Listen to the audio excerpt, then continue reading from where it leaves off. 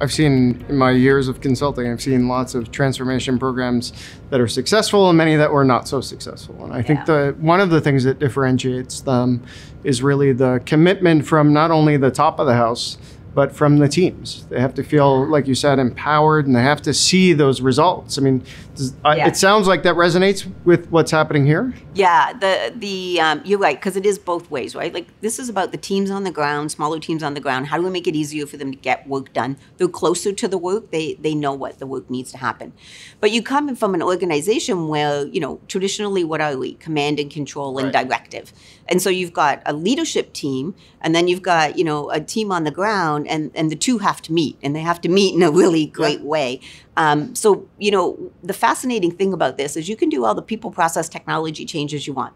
You can simplify all kinds of controls and processes, but it's the culture and mindsets and behavior Yeah. that underpin it. If you can't make a move in that, it's going to be really, really hard to actually get the outcomes. Because really, what you'll just have is command and control in new ceremonies. You guys, you guys know agile. You, you guys are technologists. We're going to the PI planning, and somebody's just going to tell you go do this, that, and the other. So the culture, the mindset, and that leadership style has to go with it.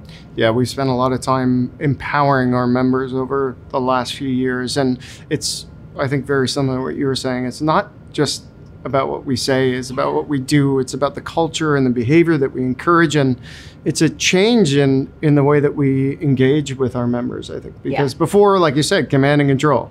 Here is what we need you to do today. And now it's here's the objective we're trying to reach. How can you help us? Exactly. Yeah, tuning from outputs to outcomes is key in, in this.